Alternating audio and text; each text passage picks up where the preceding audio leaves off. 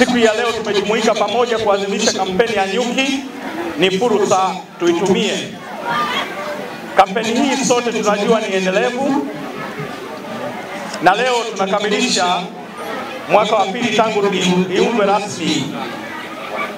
Nia na madhumuni ya kampeni hii hasa ni kupeana elimu ya ufugaji nyuki na kushirikishana fursa mbalimbali zinazoambatana na ufugaji wa nyuki. Pamoja na hilo, pia tunatumia siku hii kujitathmini kwa hatua tulizopiga, kujikosoa, kujipongeza na kupanga mikakati mipya ya kuhakikisha tunafika malengo tuliyojiwekea wakati tulipoweka misingi ya kampeni hii. Wanajamii wa Mkuranga na kata hii kwa ujumla, kwa makundi yetu tunaweza kujipambanua na kuchangamkia fursa hizo zote, na pale tunapokwama, basi serikali uh, na wawezeshaji wengine watakusaidia na tukapiga hatua.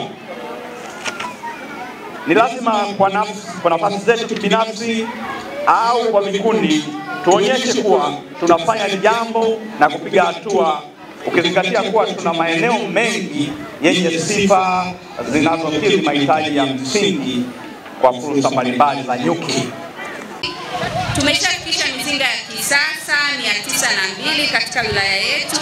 Tunavyo vikundi kumi na saba na tumepata mwaka huu 2022 tumepata karibu kilo mia tatu za asali. Mheshimiwa mgeni rasmi, ukiangalia uwiano wa mizinga na uvunaji kidogo wa biliani, lakini tunaendelea kuboresha hili na tunaamini tunapiga hatua, na wakati fulani tutakuja kuzungumza mafanikio makubwa zaidi. Mheshimiwa mgeni rasmi, ufugaji wa nyuki ni shughuli nyepesi sana ambayo inaweza kutekelezwa na makundi yote kuanzia watoto, vijana na wazee, wale wenye afya njema. Kwa hivyo sasa mradi huu ukiweza kupokelewa kwa makundi sote tu, tu, tu, tunaosikiliza siku hii ya leo, niwahakikishie kabisa ya kwamba ni jambo ambalo linatekelezeka na ni jambo lenye faida. Sasa hivi dunia iko katika msukumo mkubwa sana wa mabadiliko ya tabia nchi, na katika vitu ambavyo vinaongoza kwa kuharibu ma, mazingira ni pamoja na kufanya shughuli mbalimbali za kibinadamu hasa katika swala la kujiongezea kipato. Na sisi kama wana mazingira, kwa upande wa mazingira, misitu, ufugaji wa nyuki, Mheshimiwa mgeni rasmi, pamoja na umati huu niwaambie kwamba ufugaji wa nyuki ni shughuli nzuri sana ambayo ina faida asilimia mia moja. Lakini kuna changamoto, changamoto zetu zinafanana katika wafugaji wote walio kwenye vikundi mbalimbali. Kwanza kabisa ni upataji wa vifaa vya uvunaji wa asali, lakini kuna changamoto ya upatikanaji wa makundi ya nyuki.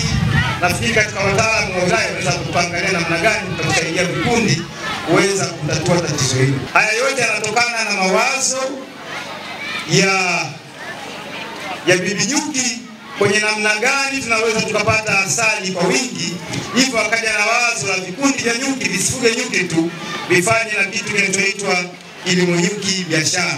Kwa hiyo yaliyokuwa mbele yenu pale ni mafanikio ya mawazo ya kutoka kwenye halmashauri kwa kwenye vikundi kufanya hiyo mchakato wa kutengeneza namna gani unaweza kutengeneza uh, kufanya kilimo nyuki biashara, na vikundi vingi vimeanza kufanikiwa. Hivyo tunashukuru sana Milango Anga kwa kuanzisha nyuki, ni fursa tuitumie. Hivyo wana vikima na vikundi vingine wameweza kuitumia, hasa wengine wanazalisha mafuta, wengine wanazalisha lotion.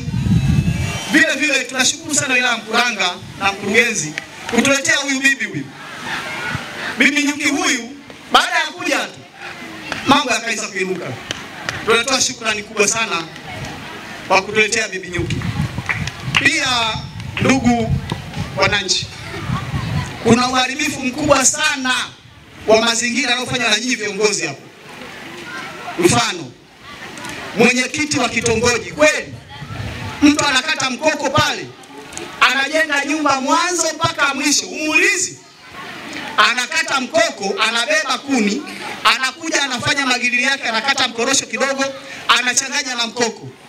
Jamani, mnatuharibia mazingira viongozi. Jaribuni kuwakemea watu.